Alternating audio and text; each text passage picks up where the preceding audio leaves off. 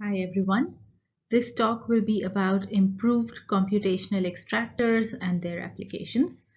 Uh, this is based on joint work with Akshayaram Srinivasan, who is at TIFR. Let me begin by introducing you to our setting. We consider the problem of randomness extraction. Randomness is actually extremely useful for all sorts of cryptographic applications. It is often obtained from physical sources, sources which are usually imperfect. Uh, in many settings, an adversary may be able to obtain side information about the randomness that was generated uh, and therefore be able to attack the system. And there have been in fact, instances in the literature that have demonstrated that cryptography instantiated with imperfect randomness can often be broken completely. So the question that we look at is whether weak random sources can be converted into stronger ones. Now, we study this question in various settings, included in distributed settings where randomness is split between many sources, some of which may be adversarial. Let me begin by making more precise what a weak source is. A weak source is represented by a distribution on n bits that has min entropy k, where k is smaller than n. A min entropy of k bits corresponds to each point in the distribution being selected with probability at most 2 to the minus k. An example of a weak source with min entropy k is the uniform distribution on subset of size um, 2 to the k in 0, 1 to the n.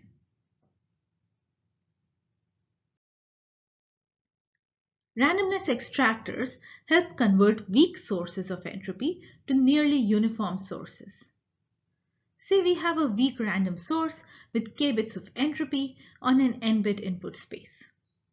Ideally, we would like to have a deterministic algorithm that converts this into a nearly uniformly random source on m bits where m can be as large as k.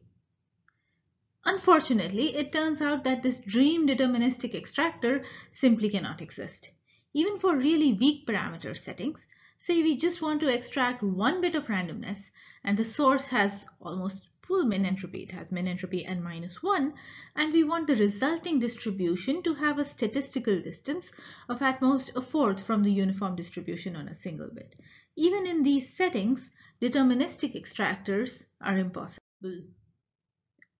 What is possible is actually a variant that takes the help of a short uniformly random seed to convert an n-bit source with min entropy k to an almost k-bit uniform distribution. This is pictorially represented on the slide here as an algorithm that on input a source and a seed outputs a distribution that's close to uniform. In fact, the size of the seed can actually be much smaller than the min entropy of the input source or the size of the output source. For example, Guruswami et al. show that the min entropy can be as small as polylogarithmic, the size of the seed can also be polylogarithmic and in this setting the error can be a negligible function of the size of the source. The definition of a seeded extractor can be further strengthened to what is called a strong seeded extractor, where the requirement is that the output distribution be statistically indistinguishable from random, even given the seed. The problem with seeded extractors is that you need the seed, which is itself a uniform independent source of randomness. The next primitive that we look at, a two-source extractor, relaxes this so that the source and the seed are both imperfect. A two-source extractor considers a setting where there are two weak sources of randomness that have a certain amount of min entropy. And the only assumption is that the two sources are independent, but neither of them needs to be uniform. They also don't necessarily need to be the same size or have the same amount of entropy, and really the assumption is just that they should be independent. A two-source extractor is a deterministic algorithm that given such independent sources with sufficient entropy outputs a distribution that is close to uniformly random. And for a long time, we only knew how to extract randomness in this setting when at least one of the sources had min entropy about half of n.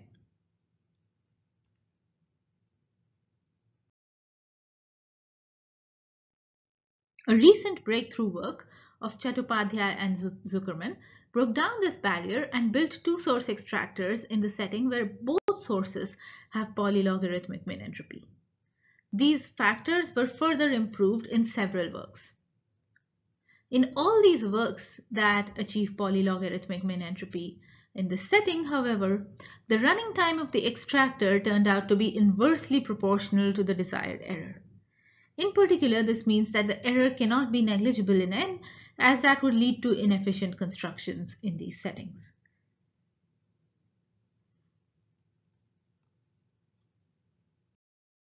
The dream, especially from a cryptographic point of view, would be to have information theoretic two-source extractors where both sources can have as low as polylogarithmic min entropy and yet the uh, error would be negligible in n and the running time of the extractor uh, would, would still remain polynomial. Alternatively, this means that we'd like the running time of the extractor to be inversely proportional to the log of 1 over epsilon. It is unclear if this is possible information theoretically uh, and at least appears to be a hard problem. So while we work on trying to solve this problem, a natural question is whether two source extractors with negligible error um, with low min entropy can be achieved under computational assumptions. Prior work has indicated that if the assumptions are sufficiently strong, then the answer is yes. In particular, assuming an optimally exponentially hard one-way permutation, Kalai, Li and Rao showed that one can in fact obtain negligible error extractors with for min entropy epsilon n, where epsilon is smaller than half. More recently, uh, under the sub-exponential hardness of DDH, in joint work with Ankit Garg and Yael Kalai, we showed that one can weaken the assumption to sub-exponential DDH. But this comes at the cost of assuming the existence of a common random string. In more detail, uh, this involves a trusted setup phase where a random string is sampled uniformly and fixed once and for all. Then a source distribution can be sampled arbitrarily depending on the string. This actually differs from the setting of seeded extractors where crucially the source and seed must be independent of each other. And so what this model basically does is reduce the need for true randomness to a single one-time requirement. In that work, the amount of entropy that we could work with was sublinear for the first source and polylogarithmic for the second one.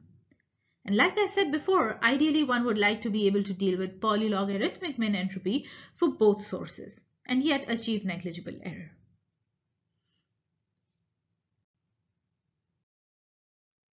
Subsequently, Aggarwal et al. obtained sublinear entropy assuming quasi-polynomial DDH and obtain extractors for polylogarithmic min entropy sources assuming optimally hard collision resistant hashing and these are essentially exponential hardness assumptions.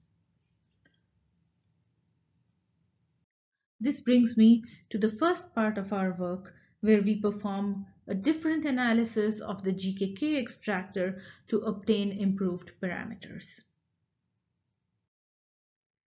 Just like in uh, GKK, which is the work I was just telling you about, we also focus on the CRS model. In this model, we perform a different analysis of the GKK extractor. While theirs was more general, in some sense, ours is more tailored to their specific construction. In contrast with GKK, we are able to handle balanced sources, meaning both sources are allowed to have the same length whereas GKK explicitly required some sort of imbalance between the sources. Moreover, each source only needs to have polylogarithmic min entropy. On the other hand, the analysis in GKK uh, required uh, sublinear entropy in one of the sources. And finally, um, our, our extractors, just like the our analysis, just like the one in GKK, shows that the extractor has negligible in n error. We also obtain improved parameters, albeit in the computational setting, for new types of primitives where randomness is required to be extracted even in the presence of adversarial attacks. Before going into the details of our analysis, let me give you a high-level overview of the GKK extractor. They build their extractor in two steps. The first is to build what is called a computational non-malleable extractor for relatively high entropy sources in the CRS model. This is done by repurposing a construction due to Braverman et al. A non-malleable extractor is a strengthened version of an extractor that we will define in more detail on upcoming slides. For now, once they have this non-malleable extractor in the CRS model, they apply a template of Ben-Aroya et al. to compile any non-malleable extractor for sufficiently high entropy sources into a two-source extractor for low entropy sources. This template was originally designed for the information theoretic setting, but GKK show how to apply it to the computational setting in the CRS model. Both these steps they show can be done while only obtain while, while with the error being only negligible. We will now go ahead and define what a non-malleable extractor is. A non-malleable extractor can be seeded, that is, involve an entropic source and a uniform seed, or be two-source, that is, involve two independent entropic sources. For the purpose of this talk, we will only consider strong seeded non-malleable extractors for which we have the following definition. Just like a seeded extractor, a non-malleable extractor on input X sampled from the source distribution and a seed outputs, a outputs something that's supposed to be uniformly random. But the security requirement here is stronger.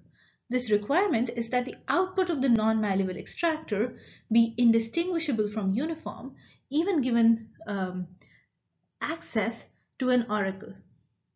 This oracle can be queried on any string y that is not equal to the seed and it returns the output of the non-malleable extractor computed on x and y. In the information theoretic setting, one typically needs to bound the number of times the adversary can query such an oracle. In the computational setting, non-malleable extractors can be defined similarly. Like the information theoretic setting, they can be seeded or to source. Again, for the purposes of this talk, we will care about strong seeded non-malleable extractors uh, with computational indistinguishability from uniform in the CRS model. The one key difference from the information theoretic setting besides the existence of a CRS will be that the adversary will be allowed to query this oracle an arbitrary polynomial number of times and we will have no uh, explicit a priori upper bound on this polynomial. This brings me back to the GKK template for computational two-source extractors with negligible error. Recall that there were two steps. The first step built computational non-malleable extractors for high entropy sources in the CRS model. And the second one compiled any computational non-malleable extractors to two-source extractors for low entropy sources. Now the second step actually uh, was based on a blueprint first introduced in the work of Ben-Aroya et al. And it turns out that the proof technique of Ben-Aroya et al. Crucially had an inefficient re reduction, which means that given an efficient adversary for the two-source extractor, they actually ended up building an unbounded adversary for uh, against the non-malleable extractor.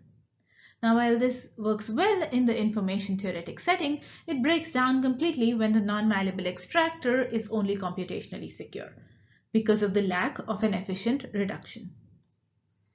To counter this barrier, uh, GKK used the leakage lemma of Gentry Wichs and Jetchev Pietrzak and Chung et al. to efficiently simulate inefficient steps in the reduction of Ben-Aroya et al.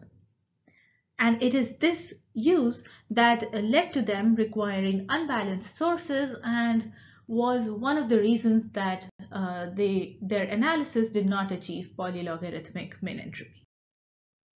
In the new analysis in this current work, we give up on having step 2 be a general compiler that compiles any computational non-malleable extractor to a two-source extractor. Instead, we uh, give a more specific analysis that is specific to the non-malleable extractor obtained in step 1. This allows us to perform a monolithic analysis of steps 1 and 2 together, first stripping off all computational uh, components until we obtain an information theoretic um, hypothetical experiment. And it is only in this experiment that we must invert the disperser. This allows us to sidestep the need for inefficiencies and uh, uh, in the Ben-Aroya et al. transformation um, and make a more optimal use of our computational resources. Unfortunately, I don't have time to go into further details of this analysis. In the rest of this talk, I'm going to talk about some of the applications of these techniques to other settings, to other extractor settings. The first setting is that of network extractors. In a network extractor protocol, there is a set of processors that each have independent sources.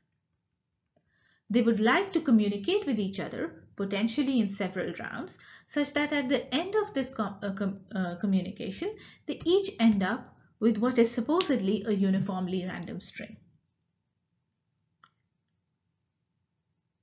In this setting, an adversary is allowed to corrupt some subset of the players and the guarantee that is typically desired is that the outputs of honest parties be close to uniform even conditioned on the view of these adversaries. That is, given the transcript and the adversarial source distributions, the output of honest players is required to still be indistinguishable from uniform. Let me now describe some prior work on network, network extractors. This concept was uh, introduced dating back to the works of Dodis and Oliveira and Goldwasser et al., uh, but was explicitly studied in the works of Kalai, starting with the work of Kalai et al., who obtained network extractors for sources with min entropy 2 to the log n to the epsilon, but where only a fraction of honest parties obtained uniformly random bits. In contrast, we would like all honest parties to obtain uniform randomness. The recent work of Goyal et al. Um, tackled exactly this problem where they were able to have all honest parties obtain uniform randomness but needed relatively high min entropy.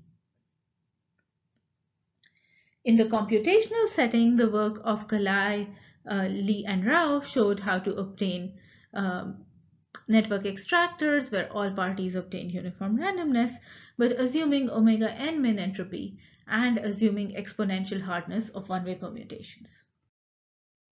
In this work, using techniques that are very similar to, our construction, to the construction of two-source extractors, we obtain a one-round network extractor protocol with negligible error for up to polynomially many parties that tolerates up to all but two corruptions, meaning that we require only two parties to be honest. This is optimal because recall that in the setting of a single honest party, this boils down to the problem of deterministic extractors, which cannot exist. Moreover, we require each source to only have polylogarithmic min entropy and assume the sub-exponential hardness of DDH. Our second application is to the setting of extractors for adversarial sources. Here one considers many sources, some of which may be adversarial, but the guarantee is that there are at least some k honest sources, again k must be at least 2, and the remaining sources can be adversarially chosen depending on the honest sources. In particular, each adversarial source is allowed to depend on up to d honest sources and the resulting extractor is called a KD extractor. The guarantee that is required in this setting is that the output of the extractor applied to all these sources where some of the sources may be adversarial be close to uniform. In the information theoretic setting, this problem was introduced and studied in the work of Chattopadhyay et al., who obtained uh, adversarial source extractors for a setting of at least um, p to the 1 minus r on honest sources out of a total of p sources, where r is a constant, and where each corrupted source was allowed to depend on at most k to the r sources and they were able to obtain such extractors for the setting of polylogarithmic min entropy. On the other hand, in the computational setting, our work, assuming sub-exponential hardness of DDH, achieves adversarial source extractors where there are two honest sources out of a total of p sources. Each corrupted source depends on at most one of the two sources, and we achieve polylogarithmic min entropy with negligible error.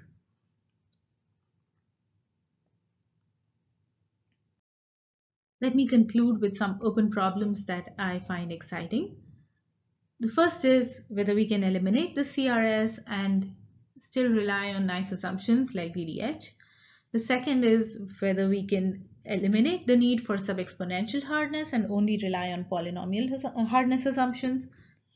And finally, can we explore relationships of these objects with other primitives like leakage resilient codes, non-malleable codes, uh, in the computational setting, as well as other cryptographic primitives such as non-malleable commitments. That brings me to the end of my talk. Thank you.